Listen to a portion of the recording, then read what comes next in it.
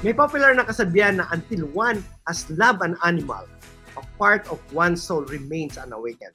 Kaya naman, para gisingin ang inyong mga diwa, usapang pets ang hatid ko sa inyo dito sa Issue and Me. Sasamahan tayo ng ating isang kasukses ngayon mula sa Nashville, Tennessee na si Judy Boschella.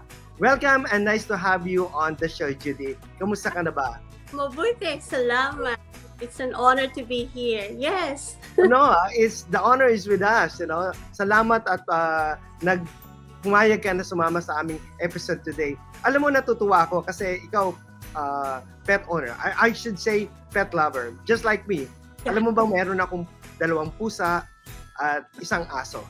Oh, so, what ikaw naman, ano bang alaga mo? kind of cat I have is um, Siberian cat for Oh, great. Yeah. In, yeah, um, actually, hindi naman talaga ako may plano magkaroon ng pet eh. Anak ko eh. oh, so na-influence ka lang niya. Pero siguro ngayon, nag enjoy ka na ng gusto, di ba?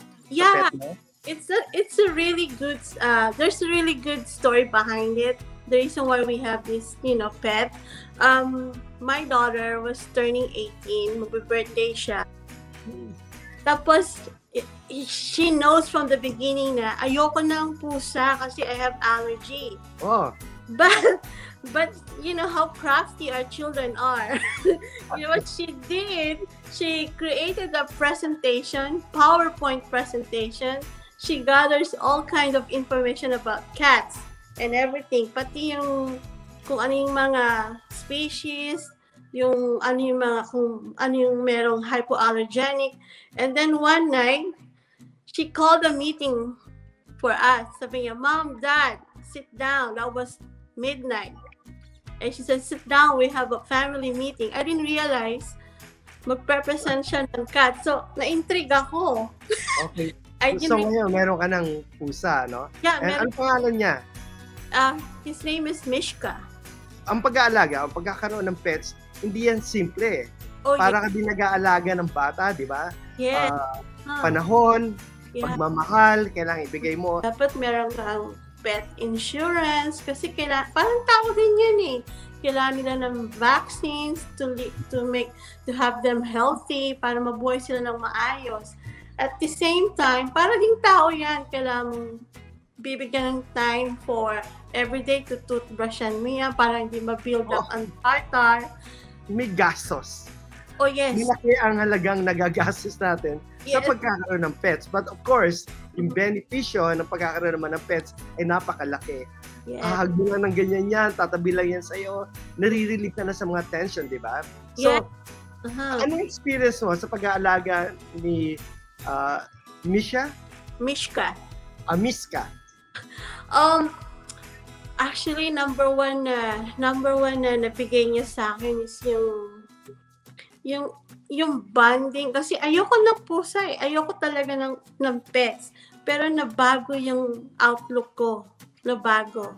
Parang nagkaroon ng, em- nagkaroon tayo, nagkaroon ka ng emotional quotient sa mga pusa. Kasi dati talagang ayoko. Takot ako sa pusa. Of all pets, ayoko ng pusa. Pero Mishka, prove it. Change it. Kasi sobrang binago niya ako the way I view yung karoon ka ng naging iba, iba yung, yung nararamdaman ko. Sobrang excited ako every morning. Alam mo, na, nararamdaman nila eh. Meron ka bang ganong feeling? Na Oo. nararamdaman nila kung anong situation mo? Kung ikaw Yes. ba ay malungkot, masaya? And Yeah, sometimes nagugulat ako, tatabi lang sa akin, parang alam niya, okay, uh, let's just be quiet. You don't wanna talk to me, okay? I'll just be, I'll just sit next to you. Something like that. Parang nakaka-relate talaga sila, di ba? It's funny thing that we uh, people, human being can say how they feel. Pero yung mga pets, they have their own way of communicating towards us na naiintindihan natin. It's So ikaw ba, because of that, talaga bang ire-recommend mo sa mga ka-success natin na mag-alaga ng pet? It could be, uh, actually, meron pa pala akong birds. di ba? I have two parrots. So, ikaw ba, uh, marirecommenda mo despite the fact na may mga challenges? Sabi ko nga, uh, you know, pag, pag, pag- kailangan mong pagtuunan ng panahon, pagmamahal, may gastos na involved. Yeah. Pero despite that, yung benepisyo ba na nakukuha mo sa tingin mo uh, mas malaki kumpara sa challenges ng pag-aalaga ng mga pets? Alam mo, um, sa totoo lang, alam mo, yung, of course, pag meron kang alagang pets, kailangan mo mag-invest lahat. Yung financial, yung time mo. Pero I encourage people maging open heart sila kasi um, depende sa eh, kung ano yung kung ang puso mo nandun na mag adjust na yung needs kung kung hanggang hanggang saan yung pwede mong gastusin sa sa pets mo. Nasa sa yun. Pwede mong i-budget yun. Pero yung nurturing heart eh automatic na yun eh. Kasi kumbaga hindi mababawa, mababayan o matutumbasan yung kaligayahan binigay no kagaya ni Mishka, especially nagkaroon ng pandemic. I mean, umiikot ka sa isang isang you know, bahay mo, wala kang mapagtulan. Parang pag dumaan yung pusa sa yung si Mishka, nawawala yung ano eh, yung lungkot na iibsan ng kaligayahan na, aba, I'm so blessed na meron akong pusa na nagmamahal sa akin. For me, I don't care. Ibibigay ko lahat.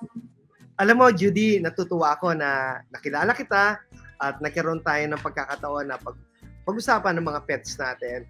Akala ko nga, um, you know, ang, ang dami ko nang alam sa pag-aalaga ng pets, but yung mga pinrovide mong information today ay talaga naman nakakatulong, nakakatulong sa atin.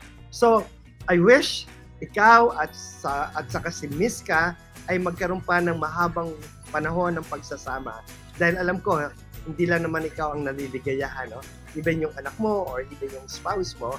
At sana ay, oh, ang ganda-ganda naman. Miska, hello!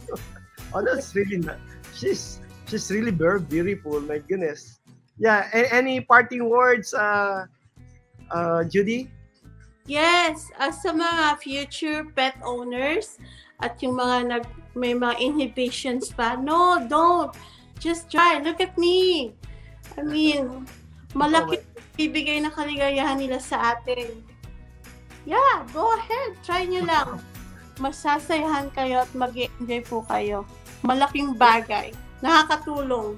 Maraming salamat, Judy. Mga ka-success, we will just pause for a quick break marami pa po tayong pag-uusapan, mga malulupit na usapan sa pagbabalik ng Road to Success.